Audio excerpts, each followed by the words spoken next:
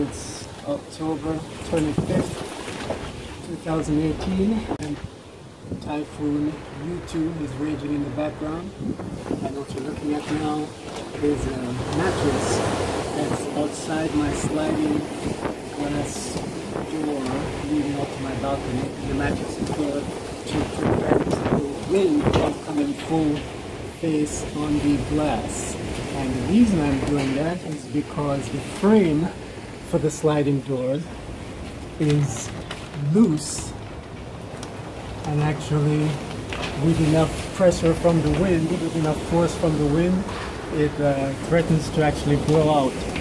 So I've been standing here for the last uh, three hours making sure that it doesn't wrench too violently and blow out.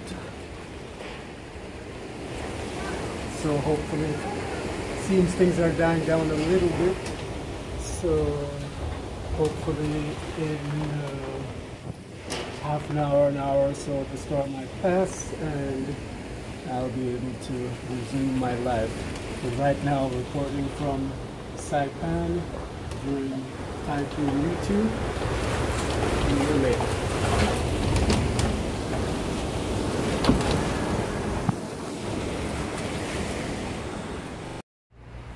Here's a shot the morning after, and my apartment is the one to the far left, all the way over to the end there. And you can see if I hadn't been holding it in, it would have ended up like that window, or that window